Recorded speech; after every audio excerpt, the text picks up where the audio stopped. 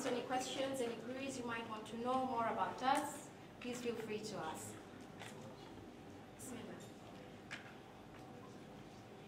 It had to be you, my son. Always. Uh-huh. I'm, I'm just curious as always, um, why sudden changes the name from Hussein Zanzibar to Wish Foundation? Uh, the main mission and vision is what the difference comes in. The mission in is Hussein Zanzibar was, the role model was Hussein bin Ali, who everyone knows here is the greatest, one of the greatest role models. But it used to define, in, not give us a platform to have other role models. So rather, we use wish now.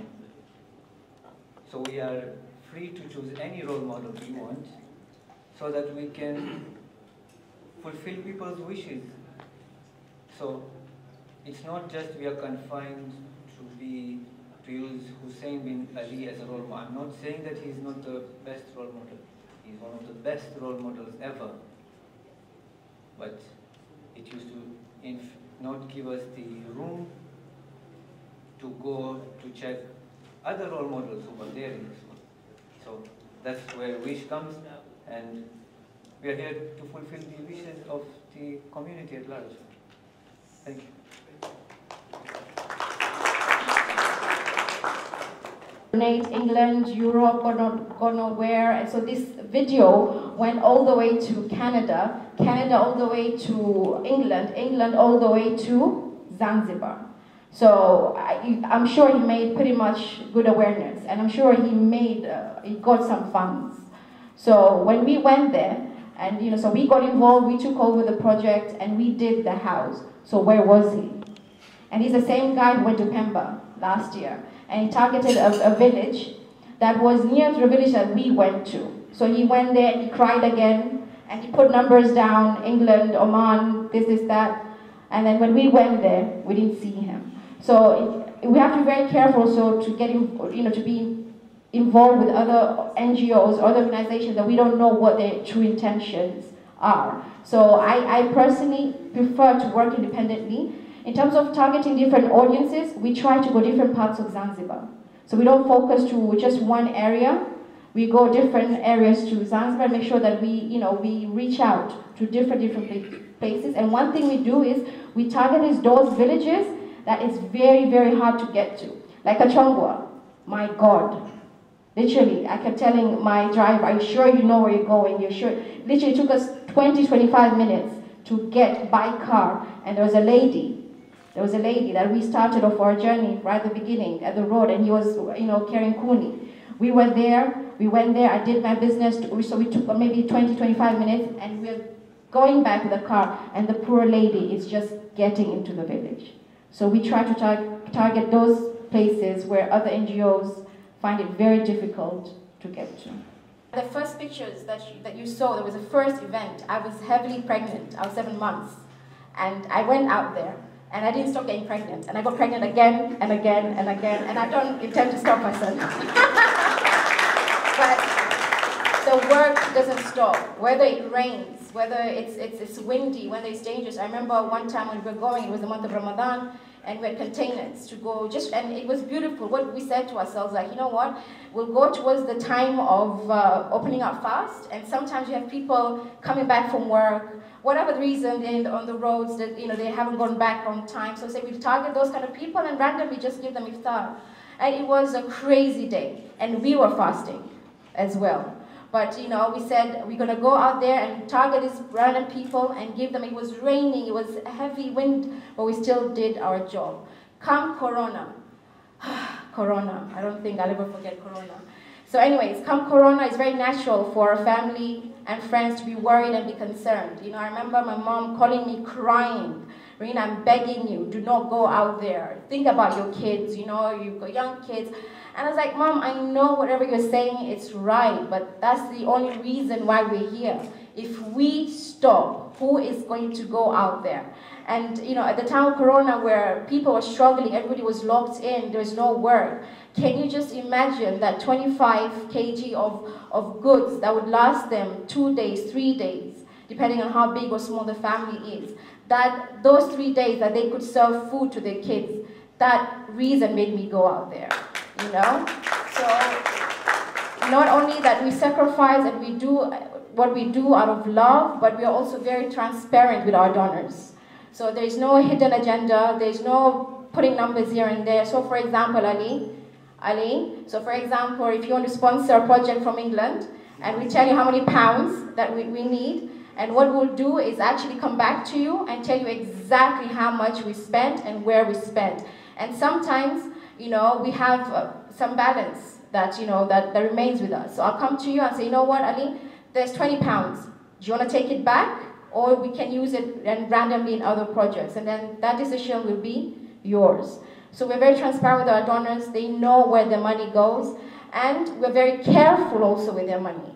We, uh, we make sure that whoever that we come and ask for help from us, we do a thorough background, making sure they're very, very genuine people. And you'll be surprised how many fake people come up to us. You know, so we take time and effort to make sure that your money goes where it's meant to go and it makes the most difference. We should help them rather than just give things, you know. So one of the initiatives that we started was empowering women. And we are going to move away from women and we're going to start targeting more youth.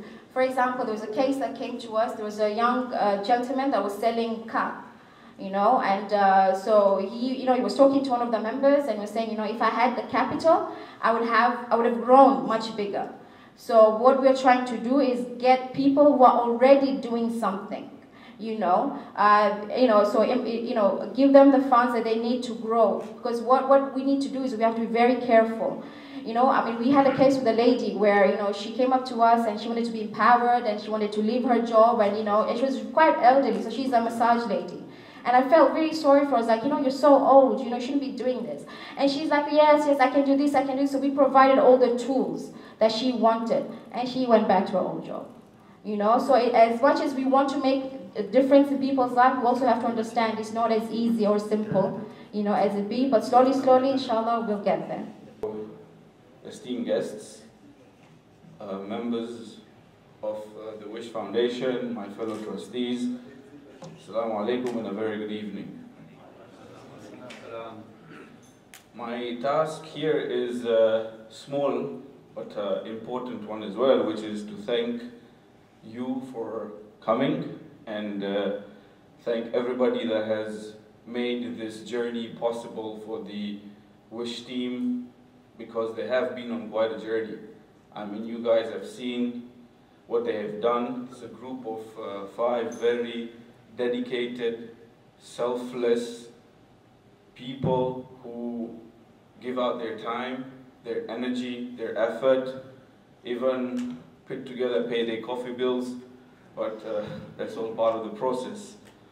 Uh, but I also like to make a mention to their family members because sometimes when they're running around in Ramadan, early morning, 7 o'clock, I wake up and I'm trying to look where my wife is, I don't see her till the evening, and I'm sure it's the same for the parents of Misam, who's not married yet, uh, Murtaza as well, my fellow trustee who's maybe babysitting at home and the wives are running around, and the newly married Fazle. So a big round of applause for the family members because they also have given up their time.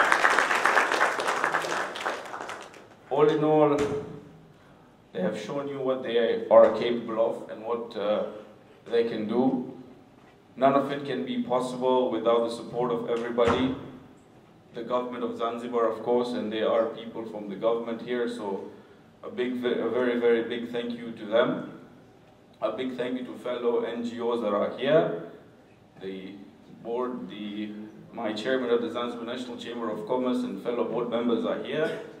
This is the apex body for the private sector organization, so it's good to meet different people who can come together with different opinions and everybody can learn from one another. We have our scholar here, so he can be also enlighten us with scholarly advice. With people from Dar es Salaam, we have a quite, as they said now, they're no longer community orientated. They've opened up their doors to a wide variety of people in terms of thoughts, in terms of culture, in terms of accepting diversity in their organization. So hopefully this is a start to many things to come. I'm sure they'll take on board all the questions, including the question from Mr. Ali, which was brilliant. So you guys can, you have homework. It's always good to have homework that you can take back rather than always sometimes a smooth sailing turbulence is, is important. It's part of the journey that makes it very beautiful. Be very, very generous with your donations as well, but not too generous so that I don't see my wife anymore because every time I'm going to see where she is, she's in different parts of Zanzibar and, and that would be good as well. But yeah. I don't want to say much because I got to go back home with her. So, nonetheless, thank you very much. I know it's been a good evening, and uh, thank you all for coming on behalf of the Wish Foundation. Thank you very much.